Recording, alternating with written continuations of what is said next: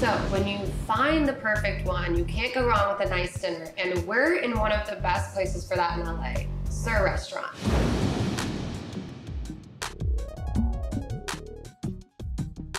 Welcome to SUR. Thank you, thank you. So, a lot of people know about the restaurant, Right. but they don't know the full story, do they? Right. You came out here for your Hollywood dream, which was obviously acting, like Right. a lot of other people. Right. But you've now made a new Hollywood dream. So tell me, how did the restaurant start? When I started in 1998, uh, and that time we have 12 tables. Uh, the menu was mostly like an Argentinian steakhouse, uh, but my partner Lisa became very popular with um, um, Real Housewife. They offer of uh, to do a TV show, and voila, now it's uh, season number five.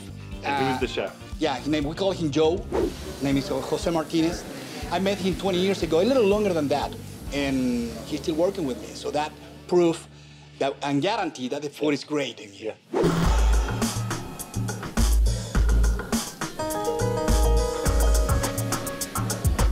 What dishes do people have to try when they come in here? Right. The chicken and shrimp dumplings. It's an appetizer.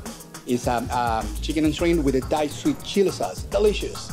And then we're gonna uh, try the crispy chicken, which is, we call it fried chicken. But the good part of this, it is uh, deep fried for 10 seconds, but then go to the oven for 20 minutes, which is uh, dried all the grease and. Uh, but mostly, you know, the menu in here is healthy. So, what do you think the most important thing that makes SUR so successful is? I think the most important thing is one word, family. Whoever worked with us is, uh, is, is considered family. And all together, we create an energy that people, when they walk in here, they feel it, and they want to come back to feel that and be part of this. So family is the key for us. I feel it just from sitting here talking to you. Thank you for having me. My pleasure. Thank you. Anytime. I look forward to seeing you soon. We'll see you tonight. I'll see you tonight. there you go.